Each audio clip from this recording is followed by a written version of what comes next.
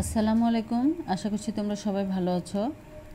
আজকে আমি ক্লাস সিক্সের ম্যাথস বুক থেকে last chapter chapter twelve set the formula get the formula এটার পেজ নাম্বার টু থার্টি টুতে যে ম্যাথ আছে, এটা সলভ করব। আশা করছি তোমরা সবাই মনোযোগ দিয়ে দেখবে। এখানে ফাইভ নাম্বার কোশ্চেনে কি বলা আছে? The following trapezium shape The following trapezium shaped floor has to be covered by 12 inch square tiles. The number of tiles in each row will be one less than the previous row. এখানে দেখো একটা figure দেওয়া আছে এটা একটা ট্রাপি ট্র্যাপিজিয়ামের shape তো এই এই ডিস্টেন্সটা হলো টোয়েন্টি ফিট আর এটা হলো টেন ফিট দেয়া আছে আর এখানে বলা হয়েছে covered by twelve inch square tiles হ্যাঁ টুয়েলভ ইঞ্চ মানে আমরা জানি এটা টুয়েলভ ইঞ্চ মানে ওয়ান ফিট তাই না?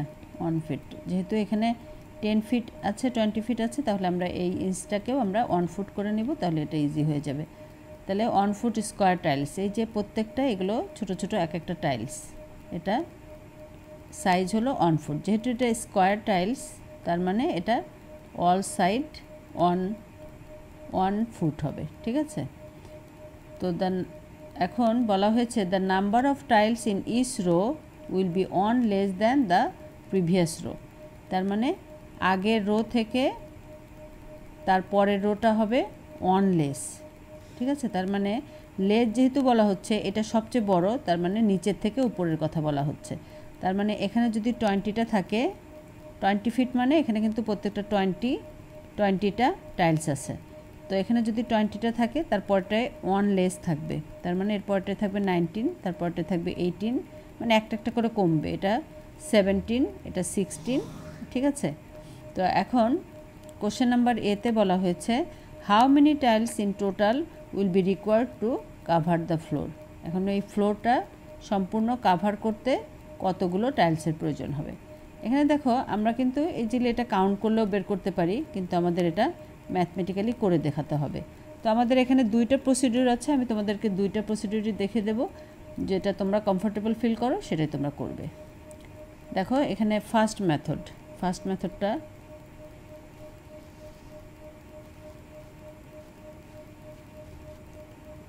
ফার্স্ট মেথডে দেখো, আমি জাস্ট ইনফরমেশনগুলো এখানে লিখেছি। The last row number of tile last row হলো এই যে সবচেয়ে বড় যেটা টোয়েন্টি যেটা দেখালাম, এটা হলো লাস্ট রো আর এটা হলো ফার্স্ট রো ঠিক আছে? এদিক থেকে এভাবে যাবে। তাহলে লাস্ট রোতে আছে number of tiles twenty and in first row number of tiles ten এখন তার মানে কি হলো? দেখো, আমি কিন্তু আগেই বলেছি, শেষেরটায় টোয়েন্টিটা আর প্রত্যেকটাতে বলা হয়েছে অনলেস তার মানে একটা একটা করে কমবে। দেখো, প্রথমটায় টোয়েন্টি হলে পরেরটা নাইনটিন এইটিন সেভেন্টিন এভাবে ডট ডট ডট করে আমি দিয়েছি এখানে টেন মানে ফার্স্টটা টেন এখানে সবগুলো লিখি নাই, তাহলে ফার্স্টটা টেন এটা লেখার অর্থ হলো আমরা এর আগেও কিন্তু একটা ম্যাথ করেছি, সেখানে কিন্তু আমরা এই ফর্মুলাটা ইউজ করেছি। একটা ফর্মুলার জন্য আমি এটা করেছি আচ্ছা এই যে সেভেন নাম্বার কোশ্চেনেও বোধহয় আমরা এই ফর্মুলাটা ইউজ করেছি।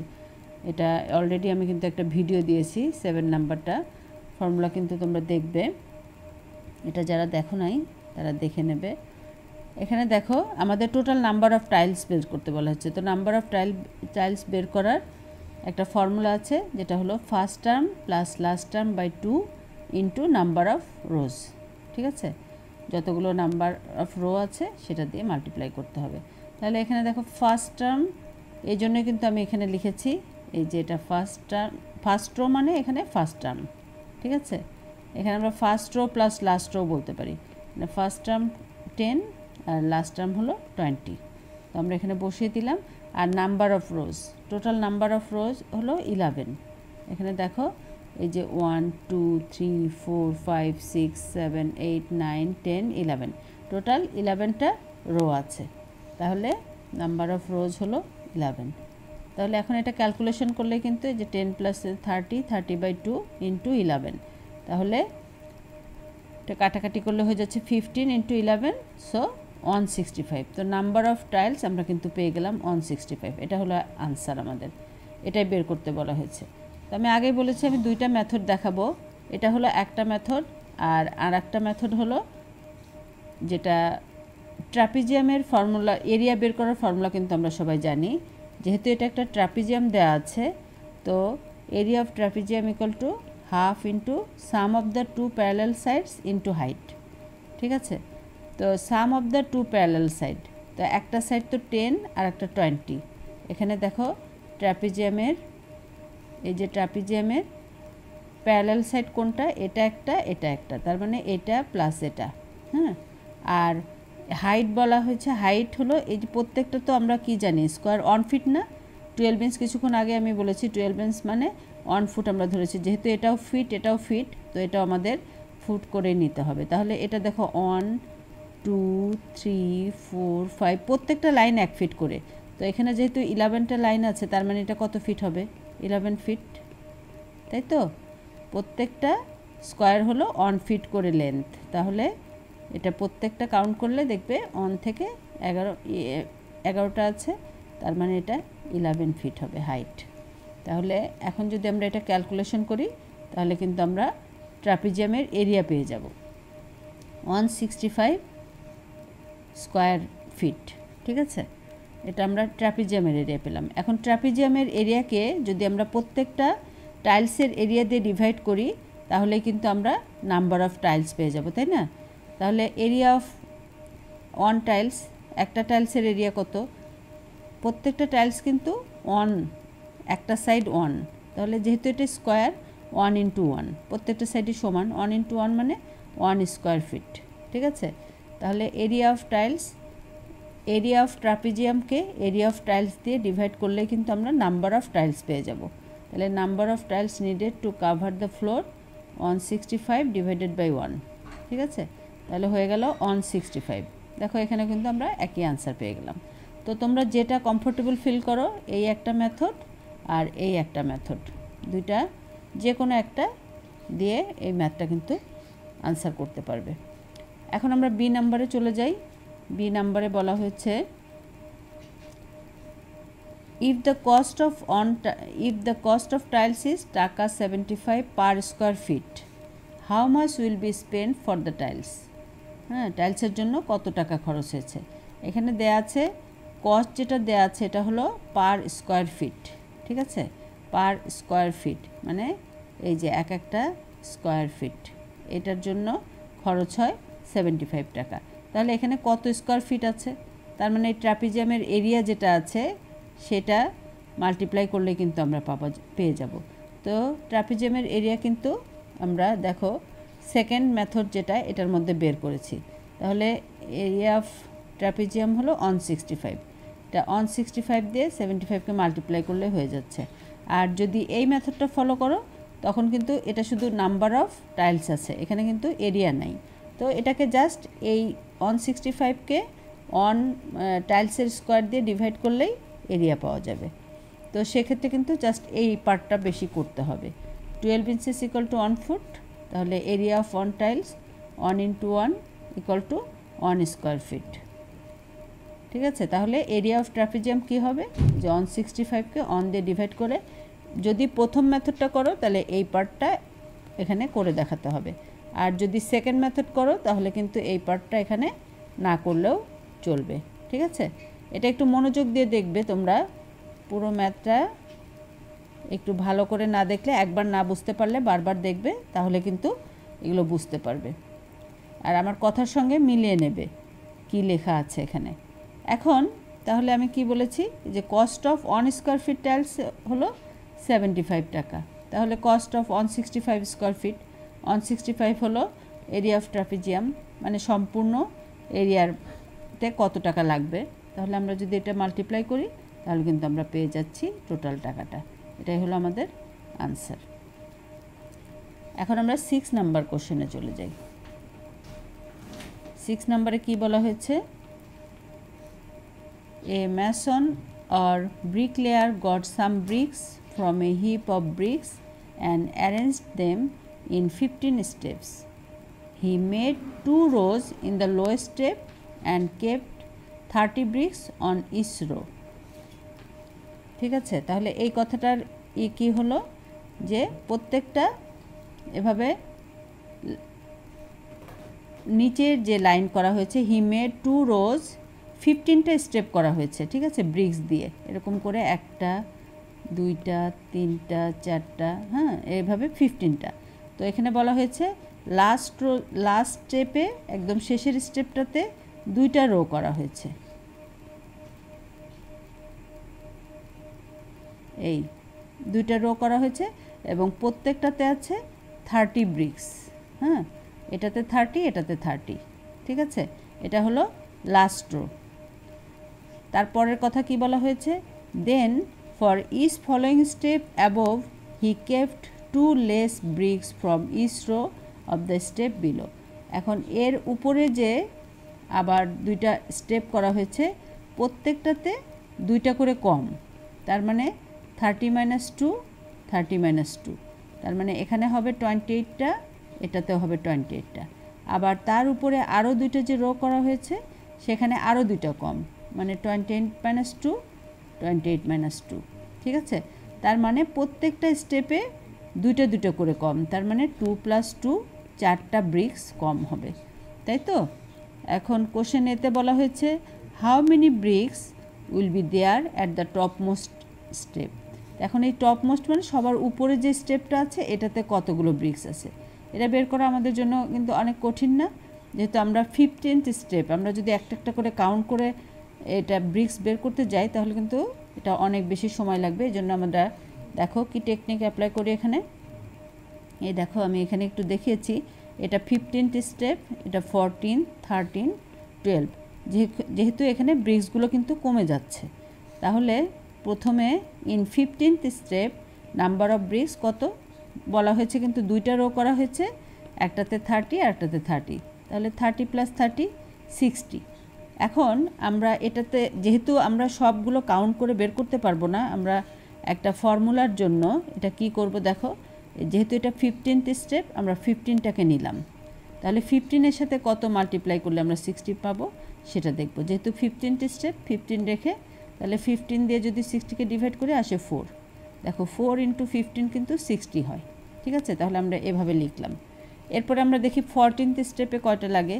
ফরটিনথ স্টেপে বলা হয়েছে, প্রত্যেকটা রো থেকে দুইটা করে ব্রিক্স কমে যাবে। তাই না? তাহলে থার্টিটা ছিল, এখান থেকে টু মাইনাস এই থার্টি থেকে টু মাইনাস তাহলে হয়ে গেল twenty eight plus twenty eight fifty six এখন ফিফটি সিক্সকে আমরা কীভাবে লিখব?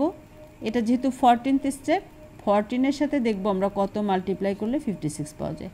তাহলে দেখো fourteen into four fifty six ঠিক আছে?